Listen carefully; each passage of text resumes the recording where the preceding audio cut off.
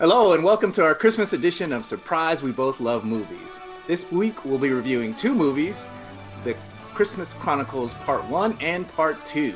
I'll be reviewing Part 1, and Aaron will be reviewing Part 2. So, Aaron, go ahead and introduce us to my review of The Christmas Chronicles 1 by giving us a quick premise of what the movie's about.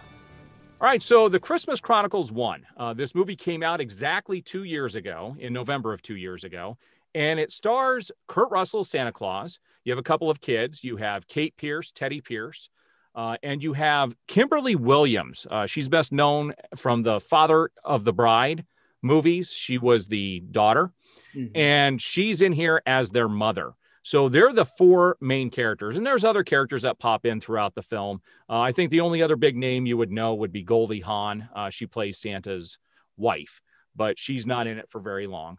And this first movie takes place where uh, Kate Pierce and Teddy Pierce, their father has passed away, and his, their father was really big into Christmas, and so the daughter has uh, an affection for that. Uh, the the the older son, Teddy Pierce, he's kind of gone on a wayward direction or is heading in a wayward direction.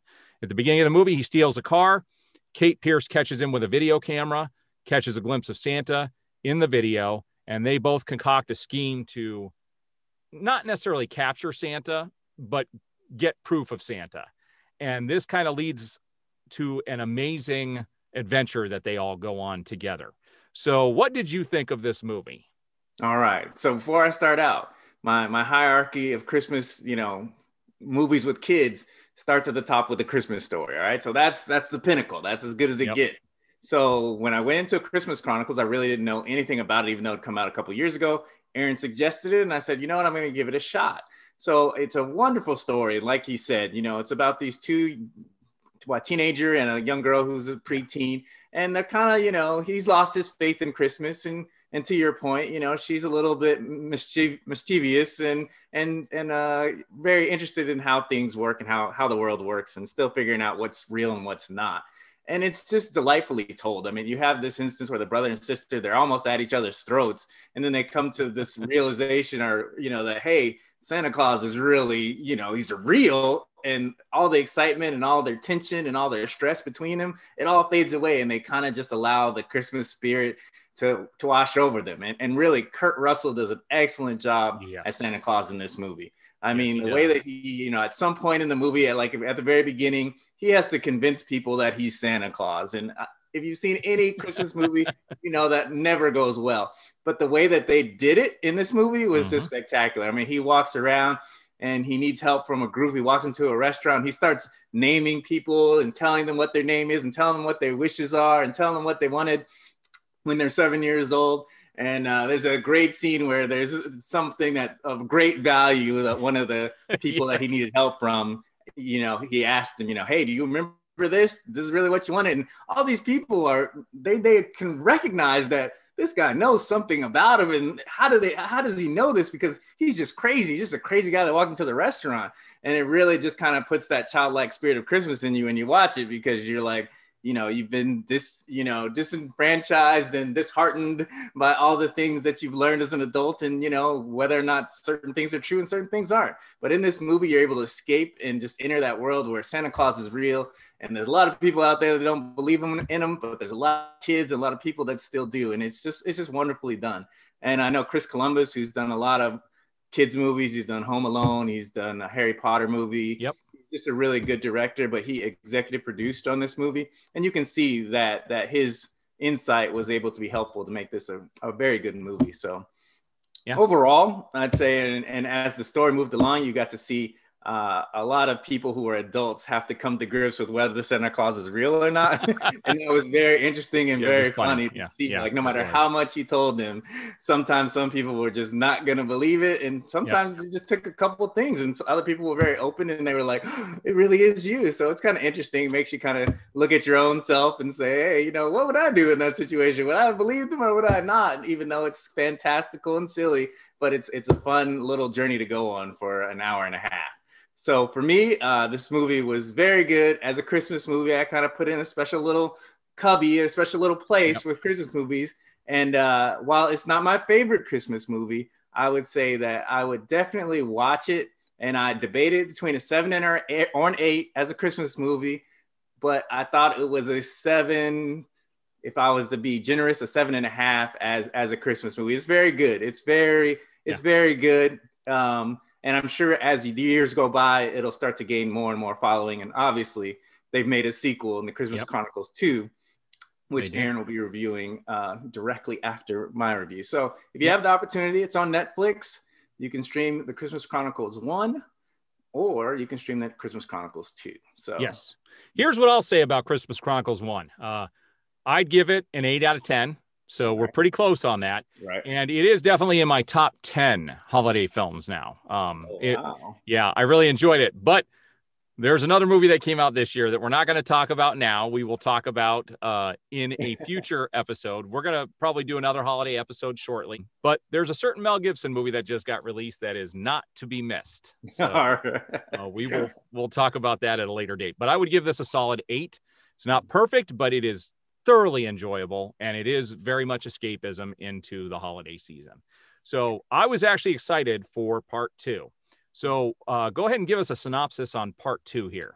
All right. So it's been a couple years later, and Netflix just this year released, or just actually in the last month, has released The Christmas Chronicles 2, the sequel to the first movie we just reviewed.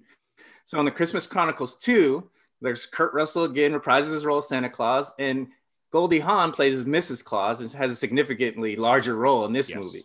But we also revisit the family, uh, played by the, the, teenage boy, played by Judah Lewis, and the teenage girl now played by Darby Camp. And the situation now is, is that her mother has a new boyfriend and they're going to celebrate Christmas in Mexico. Yes. She doesn't really like things, what's going on. She just doesn't feel like this is Christmas. It's the way that she's known it to be her whole life.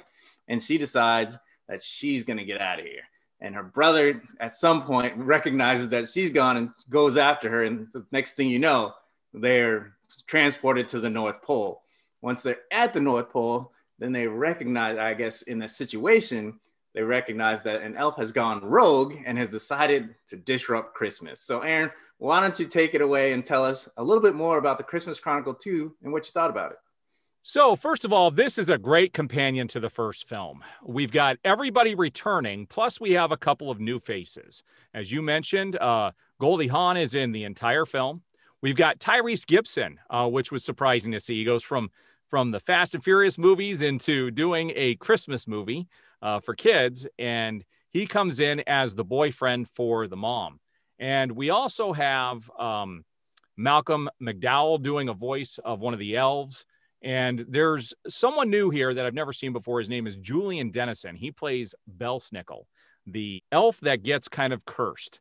Now, the one thing I didn't like is they say turning into a human is a curse, which I thought was kind of twisted in a way.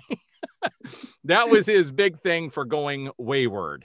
What happened was he was very close to Santa. They have some flashbacks, and he was very close to Santa as an elf. Uh, but he ended up getting very much into himself and a very big head and started to get uh, kind of nasty. And so as the worse he the worse things got, he eventually turned into a human and he has been expelled from the North Pole. Now what's really cool in this movie is they give you the history of Santa and they give you a little bit of backstory here and the North Pole is protected by a force field from the North Star, the Star of Bethlehem. They have a piece of it and it sits above everything and kind of puts a shield over the village. Well, he concocts a scheme. He steals the Star of Bethlehem, the, the piece of the star, and he destroys it. Okay. And so the shield goes down and nasty things come in and the elves are infected. And what they have to do is they go on the search for a new piece of the star and they also have to get this root to make this concoction that will cure the elves of what they have been cursed with. So it's it's outlandish. Uh, I will tell you when I first saw the trailer, it didn't really interest me that much. After the first film, it was so perfectly done and very personal and very fun. Mm-hmm. I thought this looked a little crazy and off the wall, nuts. Mm-hmm. But they balanced it well. Uh, it had everything in it that you would expect. I don't think it was quite as good as the first one, but it is a great companion film. Mm-hmm. So you'll have fun. You'll you'll feel something. You'll enjoy it. And this one was actually directed by Chris Columbus. Right. And you can tell because there are there's one scene. There's one amazing scene that takes place in an airport, mm-hmm. and Kate gets to meet somebody very important in her life uh, back when it was in the 90s. And there's a big musical number that takes place there, and it's kind of fun, over the top, just fun. It's just goofy fun in the film. And so it was really well done, but there was some heartfelt stuff in that scene as well. So, as eh, for a film, for a score on this, I'd give the first one an eight. I'd give this one a seven and a half. It's close, okay. but mm-hmm. it's not quite to that level. I did find out though that they are developing the Christmas Chronicles 3. So we will see that in two years. Uh, so we'll get another chapter in this. And I don't know with all these movies with Santa, I said they should do a Santaverse movie. Every, I guess that's the big thing now. All the superhero films to bring in all these different genres, and it'd be funny to have Tim Allen, Kurt Russell, uh, Mel Gibson, and you know a few other people in these roles, all in one Santa movie, which would be interesting. yeah, yeah, it definitely would. And and, I, and I, no matter what, throughout both movies, I'm sure this is true. Kurt Russell plays a unique and one of a kind Santa Claus that I found very refreshing. It's not your usual ho no. ho ho. He's very he was fun, very unique, and he brings something special to the role that makes it a little bit more fun for those of us who've seen a ton of Santa movies over the years.